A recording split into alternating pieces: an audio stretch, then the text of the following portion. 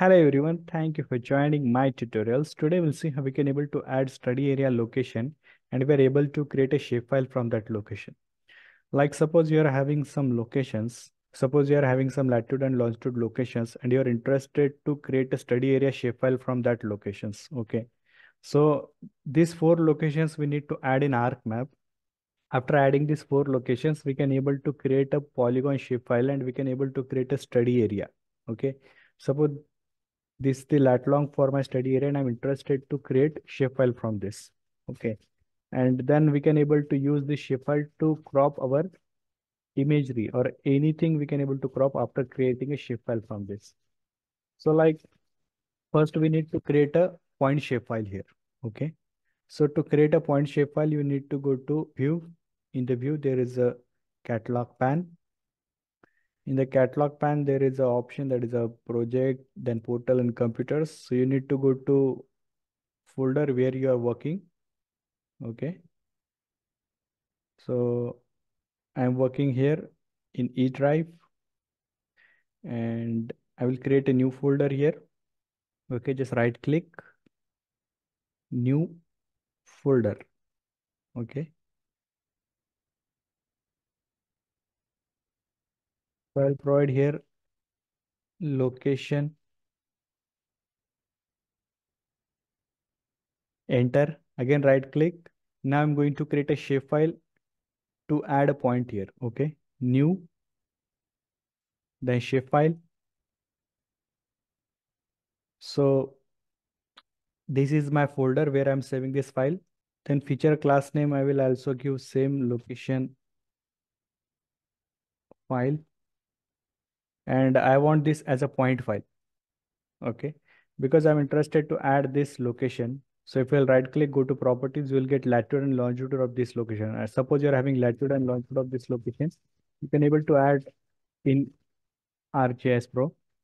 So I'll take point feature and uh, this is location where it is usually 43 UTM zone is there. So I'll provide a 43 UTM zone. Okay. So just I will select here as a, we can able to add from here as well. Just need to click on this coordinate, then projected coordinate system, UTM, WGS 1984. Then I'm living in the northern hemisphere and I will select WGS 1984 UTM zone 43. North, just click on OK and then just need to click on the run. Once I'll click on the run, new shapefile will create. You can able to see new shapefile is added here by the name of locations. I'll go back. Okay. So after that, we need to click on the edit and create option is there, create. Just click on the create. You will see this point location file is there. It is a location file. Just click here.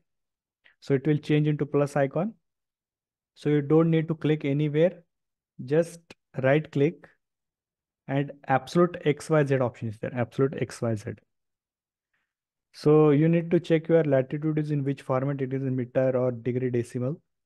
So if we'll check this latitude and longitude, if I'll click, right click properties. So this is in degree, deci uh, degree decimal. So this is the longitude. I will just copy and I will paste here in longitude. Then I will copy this latitude. I'll paste in latitude. So you can able to check your unit.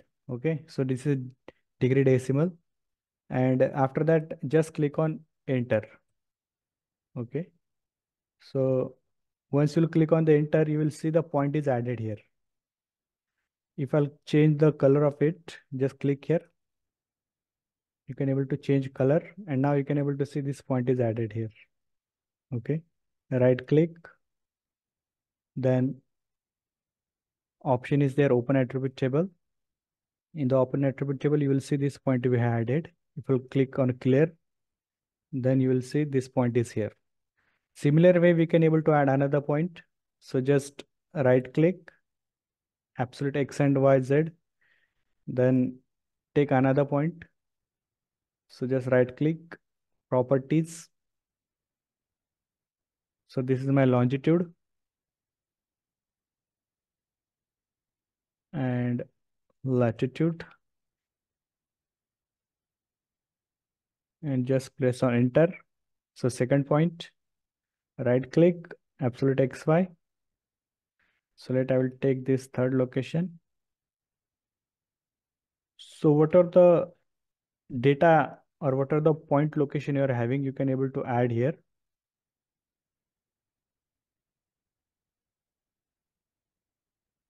Third is added. Now I'll add fourth. And after that, we can able to create a study area shapefile from it. Click on properties. So just select this longitude, paste, again copy this, paste, enter. So these four coordinate I have added here. Now I will digitize these four corners and my shapefile will be created. So for that I need to create a polygon shapefile.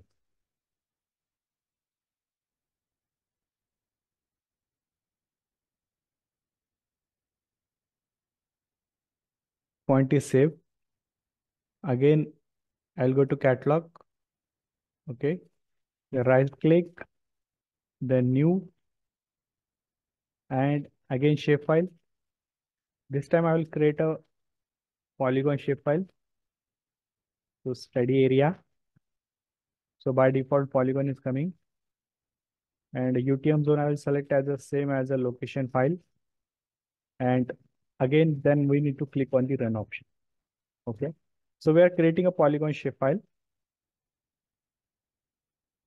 So now you can able to see it is created here, polygon shapefile. So again, go to this. Again, go to edit. Okay. So again, go to edit and create option is there.